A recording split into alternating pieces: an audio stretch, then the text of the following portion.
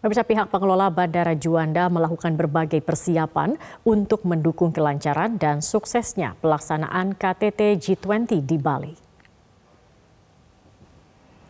Serangkaian persiapan yang disiapkan oleh pengelola Bandara Juanda, yakni melalui penambahan waktu operasional di Bandara Juanda selama 24 jam, mulai tanggal 12 hingga 18 November. Pasalnya ada 19 pesawat delegasi peserta KTT G20 yang berasal dari 10 negara akan diparkir di apron Bandara Juanda.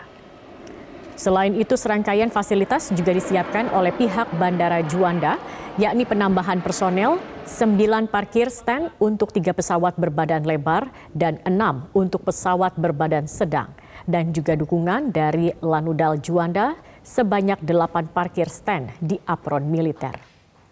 Menurut informasi dari Kementerian Luar Negeri, kedatangan pesawat delegasi dimulai 14 November mendatang.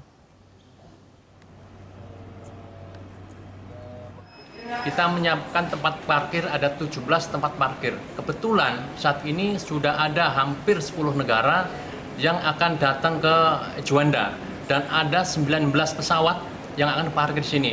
Kenapa 19? Jadi ada uh, satu pesawat yang datang tanggal uh, 13 14 kemudian kembali lagi tanggal 4